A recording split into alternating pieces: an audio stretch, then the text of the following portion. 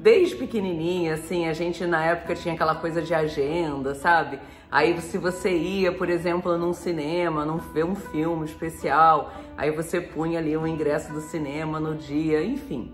Era meio que um diário, mas não só um diário escrito, era um diário ilustrado.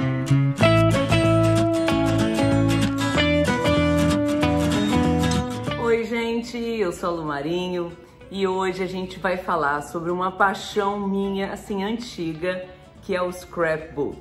Quando eu descobri o scrapbook, eu, tipo, quando viajava para os Estados Unidos, eu comprava todos aqueles adesivos diferentes que no Brasil na época não tinha, e esses papéis. Então, gente, eu comecei a perceber que eu conseguia fazer é, álbuns super interessantes para colocar as fotos, assim, ah, das viagens, de tudo, mais tarde da família e eu conseguia desenvolver com cada página desses álbuns, gente, composições. E aí o que, que são composições com formas, com cores, com estampas? Gente, isso nada mais é do que você trabalhar fazendo uma parede. Então, é, eu assim sempre gostei também de decorar parede, já falei isso para vocês. É, a minha família se mudava muito e eu a minha irmã sempre Assim, a gente chegava no nosso quarto, primeira coisa, a gente posicionava a cama, as camas, e daí a gente pensava, bom, agora vamos para nossa parede. Tinha que ter a nossa marca, tinha que ter a nossa, assim, personalidade. Então, gente, quando eu comecei a fazer essa, esses álbuns de scrapbook, eu comecei assim a, a expandir todo o meu universo de parede, porque você imagina que cada folha dessa é uma parede em branco. É, no caso do scrapbook, a gente bota fotos, mas, por exemplo, quando eu faço, fazia da minha filha pequenininha, né? Eu punha fraldinhas, eu punha, ah, my girl, enfim, eu colocava várias coisinhas que remetiam a quem ela era, o jeitinho que ela tinha. Se eu fazia do meu filho a mesma coisa, de repente eu colocava fotos que tinham assim a ver, que eram é, foram tiradas no mesmo momento porém com posições diferentes. É, é gostoso isso, é divertido.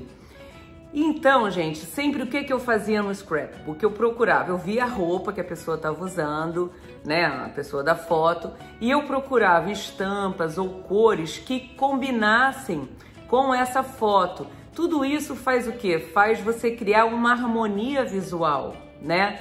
E é claro, se vamos supor a, o, a página era de um passeio no Animal Kingdom. O Animal Kingdom, ele, ele remete a gente ao quê? A animais, a terra, a natureza, a árvores. Então, tudo que eu punha ali, todos os elementos, desde as palavras, mesmo que fosse um botãozinho ou tipo uma graminha, tudo tinha a ver com a paleta de cores desse álbum. Então, gente, é, foi muito divertido. Eu confesso a vocês que eu continuo amando isso. E hoje em dia, eu até, é, quando eu faço esses posts né, no Instagram, no Facebook, tanto faz, é, a minha filha fala assim, mãe, você continua fazendo scrapbook, só que agora é digital, né? E é interessante porque depois, né, é, com a evolução dessa coisa tecnológica, é, há muitos books, há muitos livros que você faz colocando a foto digitalmente. Você pode colocar enfeites, mas é tudo digital, é tudo flat, gente. Não existe a coisa do relevo, da colagem, de você escolher ali com a mão, aquela coisa que eu falo para vocês da experiência. Gente, eu assim acho legal, eu acho que para quem não tem tempo e quer fazer, é uma super solução, é aquilo que eu falo para vocês. Não tem certo, não tem errado. Tem aquilo que combina com a sua realidade é com o que você quer fazer. Então, eu gosto ainda de revelar minhas fotos. Confesso a vocês que não tenho mais tanto tempo é, para fazer como eu fazia, mas é assim, eu sempre reservo um tempinho, eu, eu tenho que reservar, gente, para você fazer essas coisas que você gosta, que fogem ao seu dia a dia, você tem que reservar, bloquear na sua agenda aquele momento. É igual ginástica, sabe? Ginástica ainda é pior um pouquinho que eu dou uma fugida, mas eu reservo. Então, eu estava até falando com uma amiga outro dia, ela falou assim, Lúcia, incrivelmente, a disciplina é liberdade. Adorei essa frase dessa minha amiga. E eu entendi por quê? Porque se você se disciplina a organizar o seu tempo, você tem a liberdade de fazer tudo o que você gosta. Mas deixa isso para depois, para um outro vídeo. O importante aqui, gente, que eu quero dizer para vocês, é que se você curte decoração, se você curte cores, se você curte arte, telas, fotos, gente, o scrapbook é uma maneira de você assim fazer uma terapia recortando, colando, inventando, criando, se deliciando com assim as memórias que você tem das suas viagens, da sua família, da sua vida. É, isso tudo misturada a cores, a formas, a ai gente, é tanta coisa. Aquilo ali é um universo infinito. Você pode colar na sua página do scrapbook tudo que você quiser desde uma flor que você ganhou num determinado dia, até mesmo o ingresso do parque, né, que você foi naquele dia com seu filho, ou do filme que você assistiu com alguém.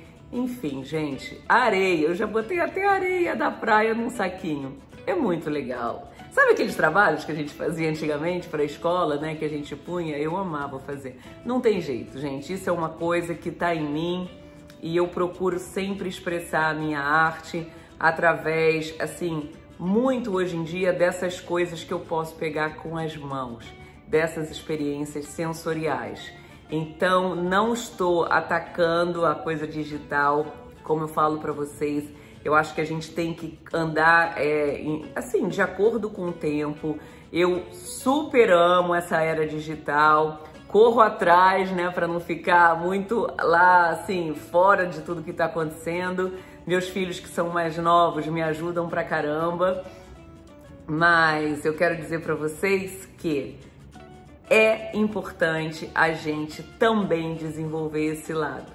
É, a gente acaba que se perde um pouco, não revela mais as fotos, não faz mais álbuns, seja de scrapbook ou álbum qualquer um, digital, não faz, gente. A gente deixa aquelas fotos no computador, ninguém vê, ninguém acessa, ninguém lembra.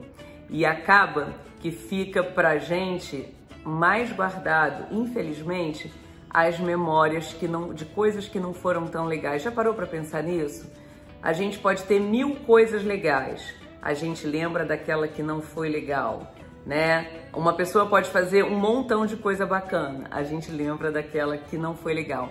Vamos mudar isso, gente, vamos transmutar essa energia.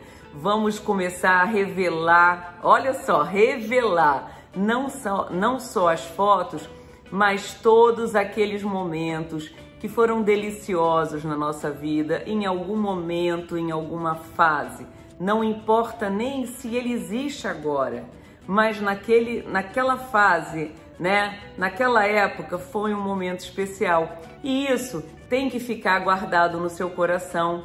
E eu acho nada mais justo de que as futuras gerações da sua família possam entender que você viveu tantas coisas maravilhosas. Gente, além da experiência, além da delícia de fazer tudo isso, existe a possibilidade de você documentar a sua vida, a sua história, a sua família. Então, eu espero que você tenha gostado, que a partir de agora você comece a trabalhar com o que for, gente, não precisa scrapbook, mas para você destacar aquilo que é bacana, que é legal e que precisa ser lembrado. E se você quiser fazer isso na parede, e tiver com um pouquinho de dúvida, escreve para mim aqui. Eu vou amar, amar, amar responder suas dúvidas, porque decorar a parede, eu acho que, assim, depois das almofadinhas, é uma das atividades que eu mais gosto de fazer. Gente, muito obrigada. Se você curtiu, deixa seu like. E olha, não esquece de se inscrever. A gente está crescendo muito. Um beijo grande e até!